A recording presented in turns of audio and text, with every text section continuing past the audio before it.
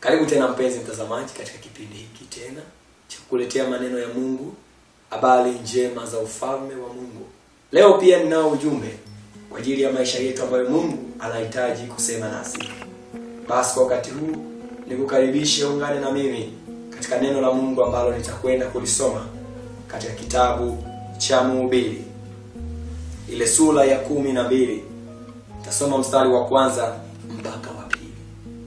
Biblia inasema, mkumbuke muumba wako siku za ujana wako, kabla hazijaja siku zilizo mbaya, wala haijakaribia miaka utakaposema mimi sina furaha katika hiyo, kabla jua na nuru na mwezi na nyota havijatiwa giza, kabla ya kurudi mawingu baada ya mvua. Mpenzi mtazamaji, neno hili najua linaweza lisiwe geni sana kwako, na hata kama ni geni, leo Mungu atakufundisha kitu kupitia neno hili. Ninapenda kabla sijaendelea mbele, uelewe ya kwamba yupo Mungu ambaye ndiye muumba wa ulimwengu na vitu vyote ambavyo unaviona kila itopo leo. Mungu ndiye aliviumba na aliviumba kwa mamlaka yake na kwa neno lake, na kila alichokitaka Mungu kilifanyika. Leo huyu Mungu aliyeviumba vyote hivi unavyoviona, kuna kitu anazungumza na maisha yetu leo. Biblia inasema mkumbuke muumba wako siku za ujana wako, kabla hazijaja siku zilizo mbaya, na kabla haijaja miaka ambayo kuna vitu utasema hauna furaha Mungu anatamani sana tumkumbuke. Kama kuna maeneo katika kwa mwanadamu, basi eneo mojawapo muhimu ni eneo la kumbukumbu. Mara nyingi sana mfumo ambao Mungu ametupa kama wanadamu, huwa tuna eneo la kutunza kumbukumbu, eneo linalochakata kumbukumbu za mambo mbalimbali na kumbukumbu hizi mara nyingi huwa ni, ni vitu ambavyo au mambo ambayo yamehusiana kwa karibu na maisha yetu, kwa hali ambayo Mungu ametuumba nayo. Mara nyingi wanadamu tunakumbuka vitu vinavyohusiana sana kwa karibu na maisha yetu. Hivyo basi neno la Mungu linatuambia tumkumbuke Mungu siku za ujana wetu, kwa maana nyingine ya kwamba tusimsahau Mungu. Mara nyingi watu wamekuwa wakimweka Mungu kama ratiba ya kawaida tu eh, ya kwamba wanaenda ibadani, kuna siku itafika wataenda, wataabudu, watarudi, lakini sivyo Mungu anavyotaka. Kama ambavyo tunakuwa na nafasi ya kukumbuka mambo mengi yanayohusiana na maisha yetu kwa karibu, ndivyo Mungu anavyotaka tukumbuke. Hivyo ningependa ufahamu neno hili kwa maana hii ya kwamba Mungu anataka tumfanye kuwa wa karibu kuliko na pindi utakapomfanya Mungu kuwa wa karibu sana katika maisha yako, ndivyo utakavyokuwa unamkumbuka siku kwa siku, muda kwa muda, sekunde kwa sekunde. Mara nyingi sana unaweza ukawa shahidi ni mara ngapi umekuwa ukimtafakari Mungu kwa siku, na vitu vingine unavyovitafakari kila siku utagundua ni kipi umekiweka kwa karibu yako. Mpenzi mtazamaji, Mungu wa mbinguni anataka tumpe nafasi ya karibu sana katika maisha yetu, kwa sababu ndiye aliyetuumba. Katika pilikapilika za maisha ya kila siku, wanadamu wana vitu vingi sana wanavyofurahia katika maisha yao, na furaha hiyo huwa inawafanya kila baada ya muda kukumbuka vitu hivyo vilivyowafurahisha, lakini pia huwa kuna vitu vinavyoleta huzuni katika ambapo kila mara huwa vinafanya kumbukumbu zirudie yale mambo yaliyoleta huzuni katika maisha yao. Na kwa mambo haya yote ya furaha na huzuni katika maisha ya kila siku, mara nyingi huwa yanaweza kuwafanya watu wakasahau kabisa habari ya Mungu katika maisha yao. Hivyo Mungu anasema katika neno lake hili ya kwamba katika nyakati zote hizo tulizo nazo duniani lazima tukubali kumpa yeye nafasi ya kwanza, kumbukumbu yetu ya kwanza akilini kila tunapofanya mambo mengi lazima mungu awe sehemu ya kumbukumbu hizo.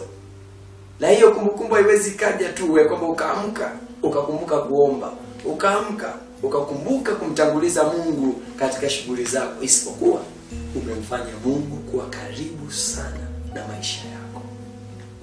Leo ndivyo nataka kuzungumza na wewe kwa habari ya kumkumbuka mungu siku za ujana wako. Bila shaka unafahamu sifa za vijana na kipindi cha ujana kilivyo. Ni kipindi kinachovutia sana. Ni kipindi ambacho kinaruhusu watu kufanya mambo mengi wanayoyatamani na kwa asilimia kubwa wakayafanikisha. Hiki kipindi ningependa usione kama kijana kama kijana lakini kipindi hiki cha ujana ukitazame kwa hali ya tafsiri hii ya kwamba ni vipindi vyote ambavyo tunakuwa tuna uhuru wa kufanya maamuzi yetu binafsi. Maamuzi ambayo tunaweza kuyasimamia. Hiki ndicho kipindi. Biblia inasema tumkumbuke mungu siku za ujana wetu. Ya kwamba tumpe mungu nafasi katika maisha yetu katika kipindi ambacho tunaweza kufanya uamuzi sisi kama sisi kipindi ambacho tunaweza kuamua na kusimamia maamuzi yetu kwa sababu tunazo nguvu kama vijana za kutekeleza yale tunayoyatamani. Katika hicho kipindi mpenzi mtazamaji ambacho unaweza kufanya mambo kwa utashi wako kwa maamuzi yako kwa furaha na uwezo wa kuyatekeleza hicho kipindi ndicho unachotakiwa. Umpe mungu nafasi ya karibu na umkumbuke katika siku zako zote za biblia inasema kuna wakati utakuja huo wakati utakapokuja hautokuwa na uwezo wa kufanya maamuzi yako binafsi. Utakuwa ni wakati ambao utasubiri kitu kiamue kingine ndipo ufanye wewe. Leo tunazo nafasi nyingi za kufanya maamuzi. Tunaweza tukafanya maamuzi ya kumchagua mungu au ya kutokumchagua. Tunaweza tukafanya maamuzi kuwaza vitu vingi vinavyotufurahisha au vinavyotuhuzunisha. Tukasahau kwamba yupo mungu ambaye anatamani kuwa karibu na maisha yetu. Mungu anatamani tuompe nafasi ya kwanza. Zipo nyakati ambazo utatamani kufanya maamuzi hutoweza kufanya. Na wakati mwingi sana watu wanasubiri nyakati ngumu za kuamuliwa ndipo wafanye maamuzi ya mambo ambayo walitakiwa wafanye kabla. Na matokeo yake huwa inakuwa ni ngumu sana kufanya maamuzi yale. Mpenzi mtazamaji hizi habari za yesu ni habari ambazo zimelenga kukusii umchague yesu leo katika maisha yako. Leo ndio wakati sahihi ambao una uwezo wa kufuatilia habari njema hizi za ufalme wa mungu na kufanya maamuzi yako. Huu ndio wakati unaoweza kuamua kumchagua mungu bila kushurutishwa wala kulazimishwa na mtu. Huu ndio wakati unaoweza kuamua ya kwamba muda ulionao muda fulani utautenga kwa ajili ya mungu. Lazima umpe mungu nafasi katika maisha yako katika hiki kipindi ambacho unaweza kuamua wewe kama wewe. Biblia zipo nyakati zitakazokuja utakuwa hauna furaha katika mambo unayotaka kuyachagua. Itafikia hatua mpenzi mtazamaji utatamani kufanya kitu fulani kwa ajili ya mungu. Utaona kama huna furaha. Kuna wakati utatamani ya kwamba utoke uende ukasikilize mkutano wa injili utaweza kuwa na hizo nguvu. Kuna wakati ambao utatamani hata kuzungumza na watoto wako. Lakini huo wakati hautokuwepo leo mungu ametupa wakati mzuri sana. Nyakati nyingi mungu ametupa muda wa kutosha. Muda wa kuomba. Muda wa kuabudu. Muda wa kwenda kazini. Muda wa kwenda sokoni. Muda wa kwenda maeneo mbalimbali.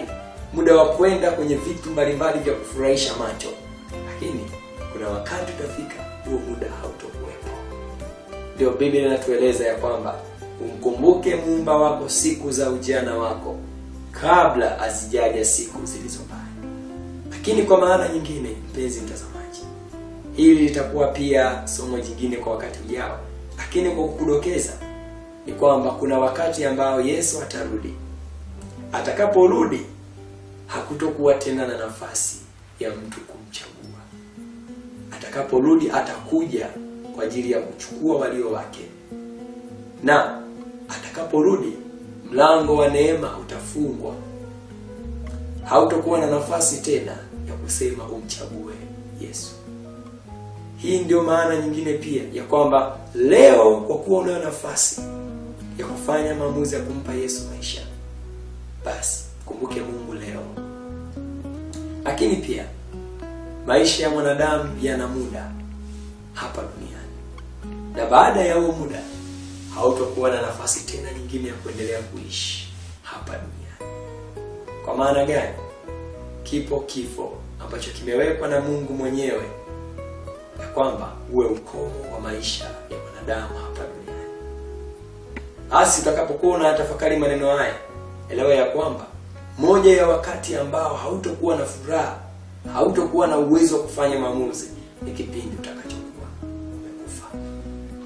Hautokuwa na nafasi tena ya kufanya maamuzi ya kumpa Yesu maisha. hiyo maana Biblia inatukumbusha ya kwamba tumkumbuke Mungu siku za ujana wetu, siku ambazo tunaweza kufanya maamuzi ya kumchagua Yesu awe Bwana na Mwokozi wa maisha yetu. Penzi mtazamaji, neno hili linakupa nafasi uchaguzi leo, ya kwamba kuanzia sasa utakuwa unakumbuka nini siku zote za maisha yako, na ni kama nilivyokueleza ya kwamba ili uweze kumkumbuka Mungu siku zote za maisha yako, lazima umpe nafasi ndani ya moyo wako, na nafasi hii huwezi kumpa Mungu bila kumkubali Yesu Kristo kuwa Bwana na Mwokozi maisha yako. Utakapofanya maamuzi hayo basi utakuwa ndio mwanzo pekee wa kumkaribisha Mungu katika maisha yako. Atakuwa sehemu ya karibu sana katika maisha yako, na kuanzia hapo maisha yako yote yataambatana na kumbukumbu kumbu ya kwamba Mungu amekuchagua na wewe umemkubali. Utamkumbuka Mungu siku zote za maisha yako. Ikiwa uko tayari kumkubali Yesu kwa Bwana Mwokozi wa maisha yako na kumkaribisha Mungu ndani ya moyo wako, ningependa uombe pamoja nami sala hii. Utasema baada yangu maneno haya yafuatayo: Sema, Bwana Yesu,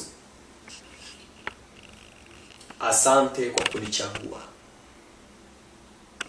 Asante kwa kuniletea habari njema za ufalme wa mbinguni. Asante kwa kunikubali nisogee katika ufalme wako.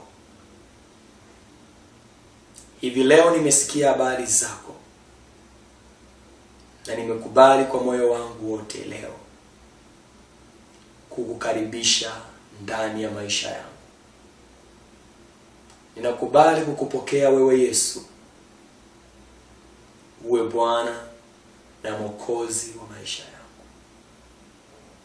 Nisamehe dhambi zangu zote nilizokukosea, na kuanzia leo ninamkataa shetani na kazi zake zote.